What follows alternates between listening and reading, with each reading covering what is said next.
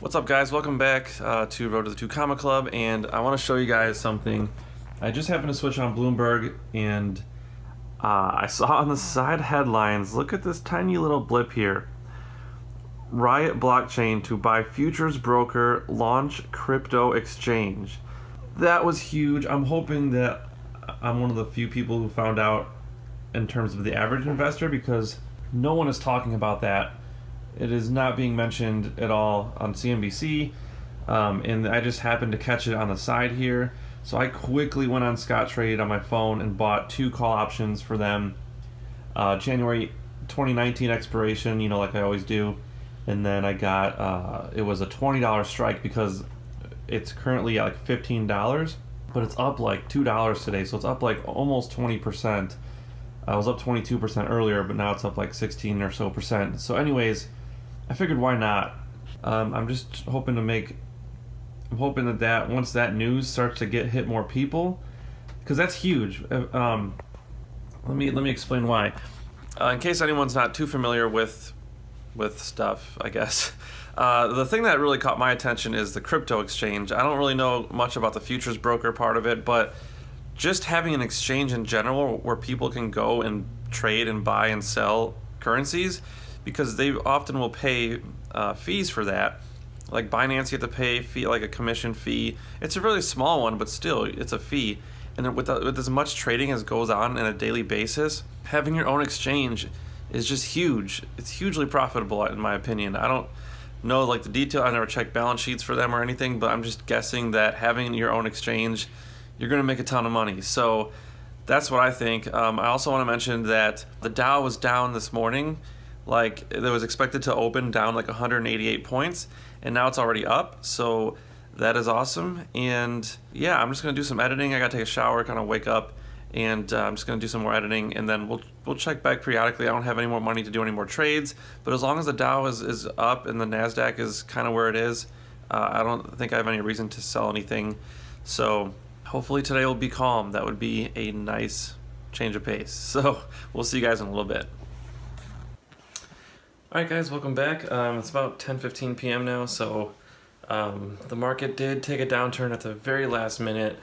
It seemed like within the last 20 minutes it went from being up a lot to like down a little bit. So um, let's just see how we did and then we'll talk about a couple things.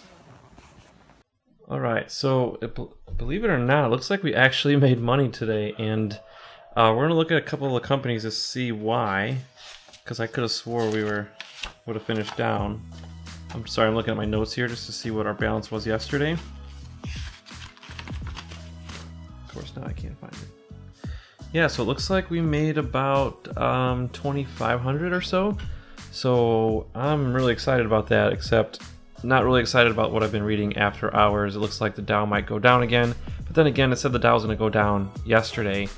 Like two nights ago, it was going to go down yesterday, but it actually went up yesterday. So it went from being like down a thousand, you know, after hours, two days, two nights ago, and then yesterday it went from that to being up 500 at some point. So who knows? A lot can happen in 12 hours, and so uh, I'm not gonna panic yet. I'm just gonna keep uh, my eye on things. I'm if I have to sell some things tomorrow, I'm gonna try to be ready for that. But anyways, so here were the orders again.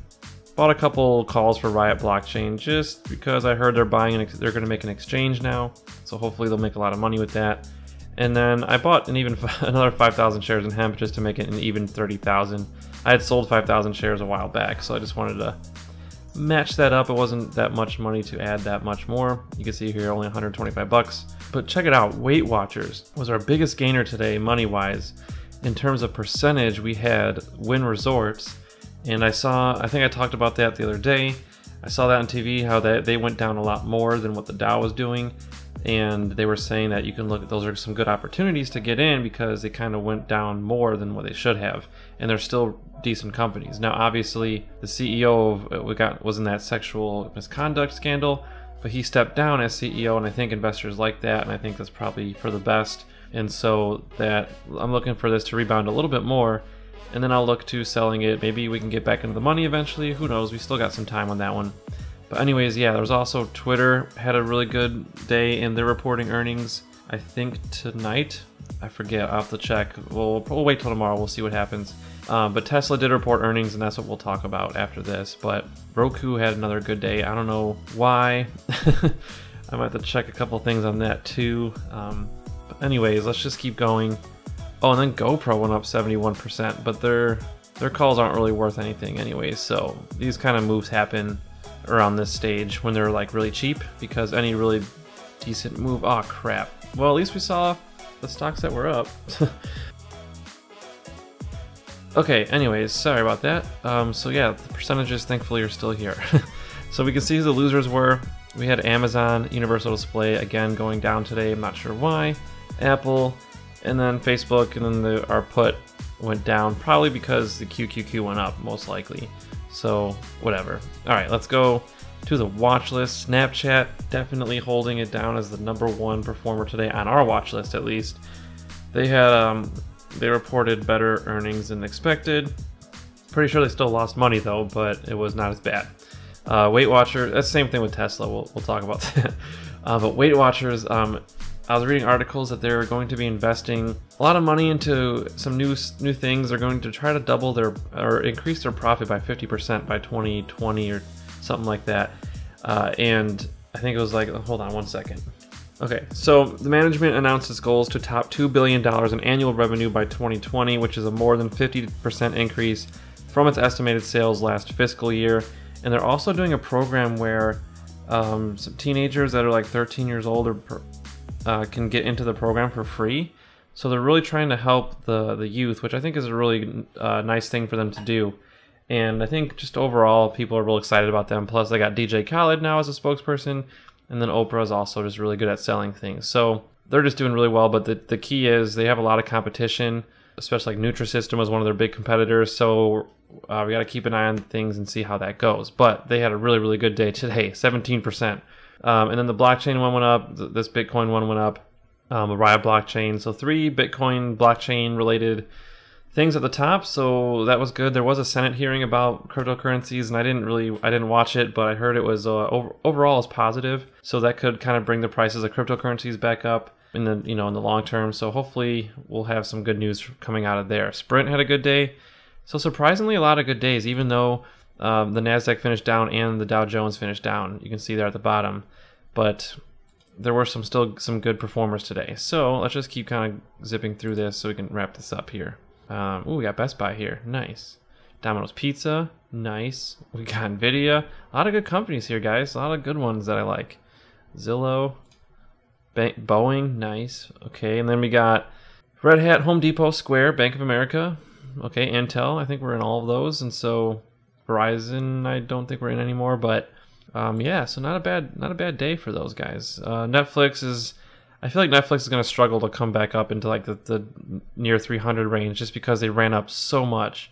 It's going to be tough, but I think long term they can do it. I think they can do it.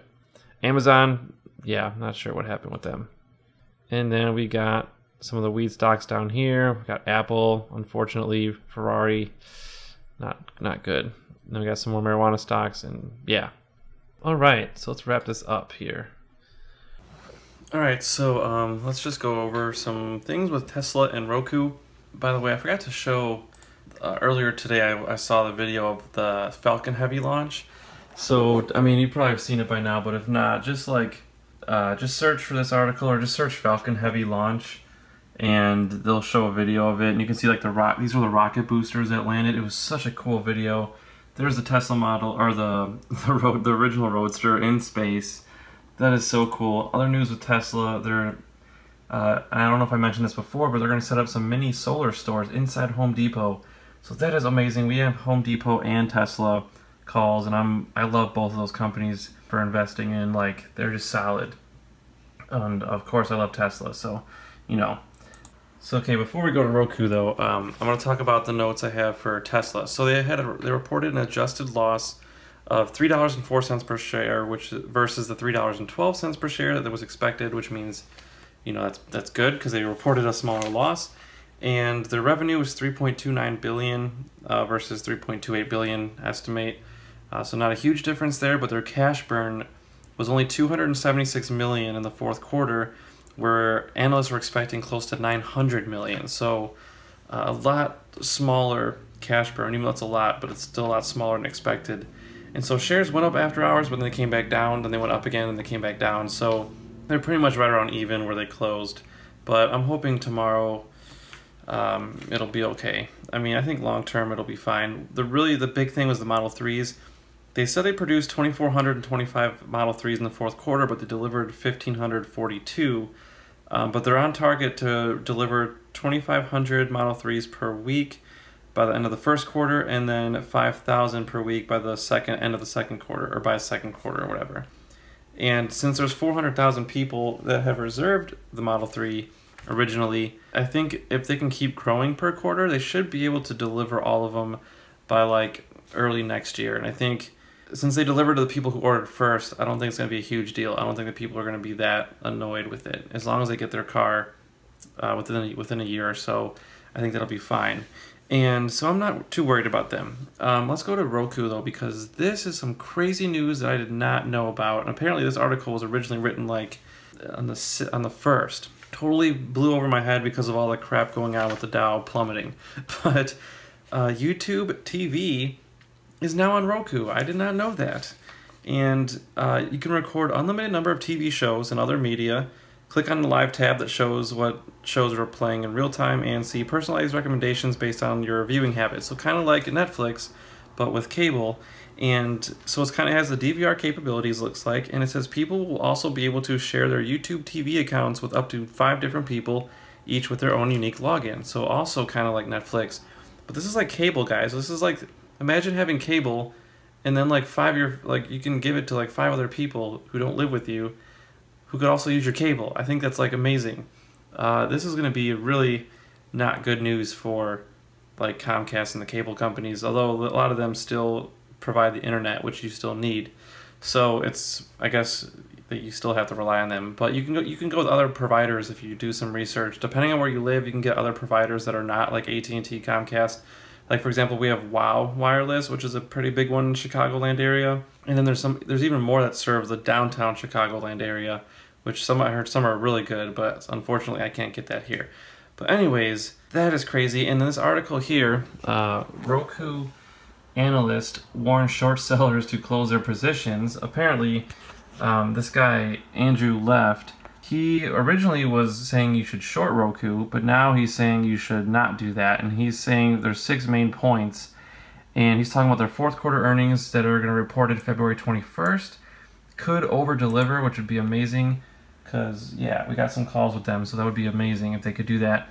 Uh, their strategic position with the streaming video space is improving. Their moats are also improving. Moats kind of refers to things that they have that makes it really hard for competitors to get into their same market. So they kind of have like a stranglehold on certain aspects. And with the four billion dollar market cap, Roku stock should be added, he said, to the S&P indices in in March and the Russell indices in June uh, resulting in passive money managers buying for the first time. That would also drive the stock up. Uh, this one, not the OIBDA, I forget what that stands for. Um, if you want to put that in the comments, I'm totally drawing a blank. I used to know. And the price per earnings and free cash flow basis make the stock inexpensive. And then the last one, which is the reason I bought the Roku calls again, because you'll you'll notice in previous episodes I bought it and then sold it. Um, but I bought it again because Roku uh, expectations for Roku to be acquired by a larger company remain high given the stock's market cap of 4 billion versus 115 billion for Netflix. So the cheaper it is now, the more attractive they are to be bought out. But once this grows, it's going to be it's going to cost someone a lot more money, obviously, to buy them. So if Netflix, for example, wanted to buy them and kind of get into the cable game, which I think would be a great move, they would be the one. Uh, they would be the one to have to shell out a lot of money to get them. Now Apple could buy Roku and four billion is like pennies to them. So they could. So that's why Netflix should really be careful that Apple doesn't buy them first. But it's still possible that Roku just continues to do their own thing and not sells to anybody. So we'll see what happens. But we're gonna leave it at that. Uh, there's gonna be some really interesting um, stories ahead of us with Roku. So we're gonna see what happens with them. But if you like this video, please hit that like button and subscribe if you haven't already. And comment below if you have any uh, questions or comments about Tesla and Roku and or anything else in general. And thank you guys again so much for watching. I hope you had a fantastic night, and we will see you tomorrow.